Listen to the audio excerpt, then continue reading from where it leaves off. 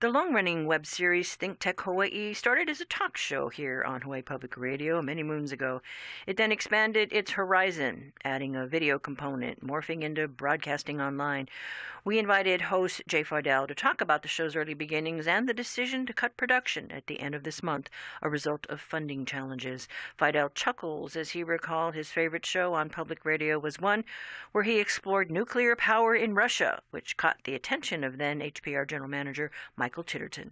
My favorite show was about fallen Russian nuclear scientists. Okay, there'd been a little press about some fellow out of Milwaukee, I think, who was a, a, a sportsman, a sports athlete at one of the universities in that state. And he went to Russia and he opened a pizza parlor because he liked pizza. In Siberia, he opened the parlor and the people loved it. The Russians loved pizza. So he was making money in this numbered city. I mean by numbered city? It had no name. It only had a number, and it had a number because the university in that city only did nuclear physics. And that was what Stalin wanted, and that was what the administration in Russia wanted going forward. So this guy was making money in multiple cities in Russia. And I heard about that on National Public Radio.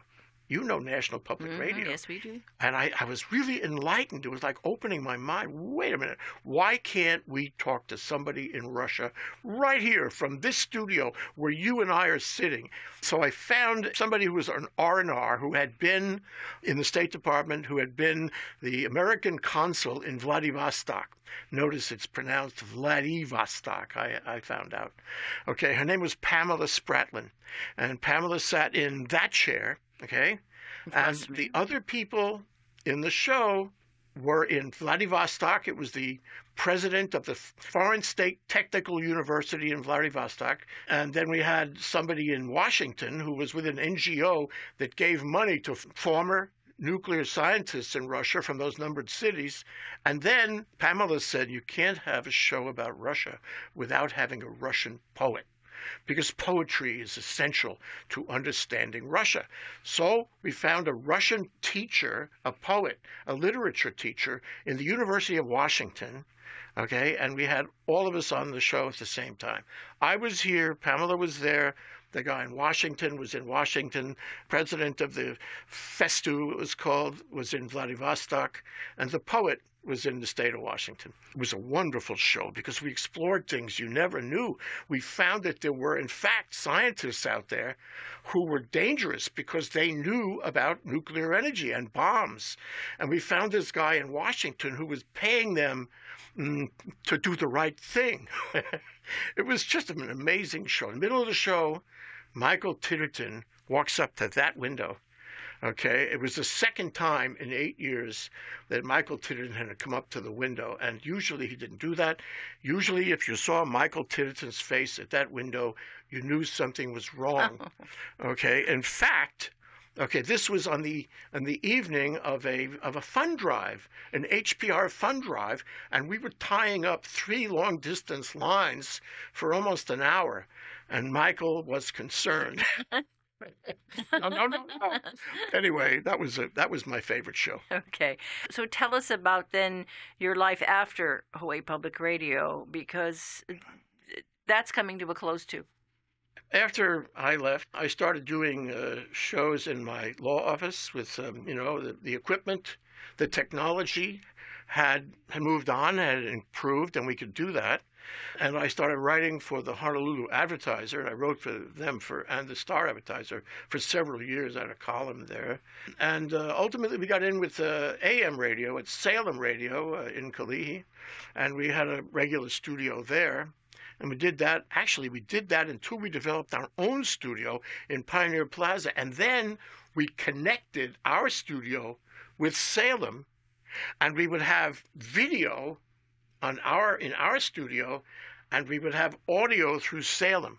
Same production, two distributions. It was really fabulous. Okay, and we we stayed at Pioneer Plaza for several years. So how long have you been doing then Think Tech post HPR? Well, altogether, ThinkTech is almost 25 years old. 25 years Yeah. old. Okay. I know I don't look like that. I, I, could, I couldn't possibly have been doing this for 25 years, but there you have it. and so, gosh, so so yeah, another chapter, another page. Oh Uh, yeah, so the technology moved on, you know, and uh, not kidding that our middle name was tech, and the tech was not necessarily that we were covering every asp- aspect of the tech industry. Although I have to say that politically we were covering Act 221, and the development of Ed Cadman's tech campus, biotech campus that he wanted to do in Kaka'ako. We covered Kaka'ako a lot. In fact, we had T-shirts that said "Breakfast in Kaka'ako." And Ed Cadman, the dean of the medical school, as it worked out, wore one of those shirts. The Think Tech, Breakfast in Kaka'ako. Anyway, we covered tech as much as we could. Linda Lingle undid Act 221, and by 2010, um, you know, there really was no Act 221, and a lot of the tech people who had come here for the benefits of Act 221 left. Okay, so that was the kind of the end of a phase. But in the meantime, we were going farther and wider, and we were using more tech. We had moved into a larger studio in Pioneer Plaza. We had a control room like that one right there. Uh, with the window, glass Mhm. window. Every control room has to have a glass window, and uh, and a studio which is soundproofed and had multiple cameras and mics and a big table, a carefully designed studio. And we broadcast, you know, dozens of shows every week. Ultimately, it was more than 30 half hour talk shows on video on the internet every week. And we did that for several years until 2020, when we moved into Finance Factors building, Finance Factors Center, and also on, on Bishop Street with a smaller studio because we really didn't need with the control room and we didn't need all the video equipment we had accumulated. The technology had moved on, it didn't take as much space and so forth. So we began broadcasting in a smaller space in 1164 Bishop. And since then, we have found that we don't even need a studio. All we need is a tech place with computers and advanced software and systems that allow us to stream everywhere in the world. So we're getting shows from everywhere and we're streaming everywhere. And we have a very active website and YouTube channel and multiple social media channels. And that's what we got to be doing. And we, we learned all the software that could service us. And we made a lot of video with it and we disseminated it into many places. And we had shows both coming and going in Latin America, Africa, Middle East, Asia, Europe, mainland, Canada. I think it got it all. Okay. And, and we had regular, regular uh, uh, conversations with people in all those places, and they uh, promoted the, those shows, and, and people were listening for all around the world. And so you made a decision, though, to close the curtain at the end of the month. Yeah, our business model, Catherine, has been to raise money through underwriters, all of whom gave us a few thousand dollars. And when you tallied them all up, it was enough to pay our budget. And our budget, you know, with rent and staff.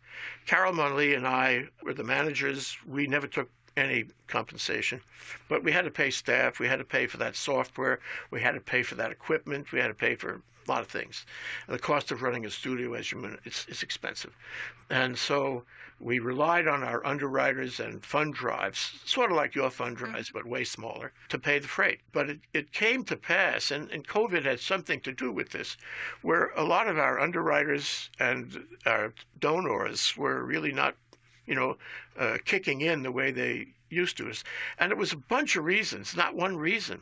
I mean, some of them got sick, some of them died, some of them did dementia for us, some of them went out of business or went bankrupt uh, or left town and couldn't care. And so the result is that our fundraising became less and less, and it was not enough, it was not sufficient. That's what we concluded early this year. It was not sufficient for us to actually continue to do what we had designed. And so, uh, what's the plan going forward? we're continuing right now, as you and I speak, to do our regular lineup, which is roughly 30 shows a week. And our studio is alive and well. Our, at the end of April, we're going to cut back on that. And we're going to give up the space that we have had at 1164 Bishop. and we're going to take it ad hoc. What I mean by that is that if something comes our way, yes, we will put it through our, our process and we will post it on YouTube and, and play it on our stream, but it won't be 30 shows a week. There'll be commentaries and, you know, special events and special discussions about news that is very timely. And we're also developing a legacy program. This is important because remember I said we have really focused on the on the technology and especially in recent years on the AI. So we're building legacy collection program that is going to be able to reach back to all the shows we've ever done. And the ones we have are roughly 16,000 shows.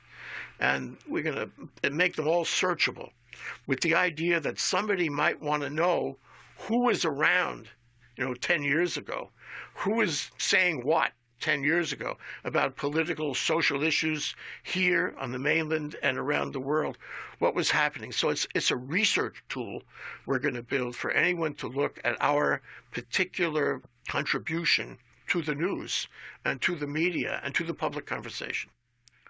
We have been hearing from the colorful and exuberant Jay Fidell, who first hosted a show called Think Tech Hawaii here on Hawaii Public Radio in 2001. He quickly embraced video and the internet, and his shows can still be found online. Uh, Fidell announced he is cutting production at the end of April and will focus on creating an archive of shows.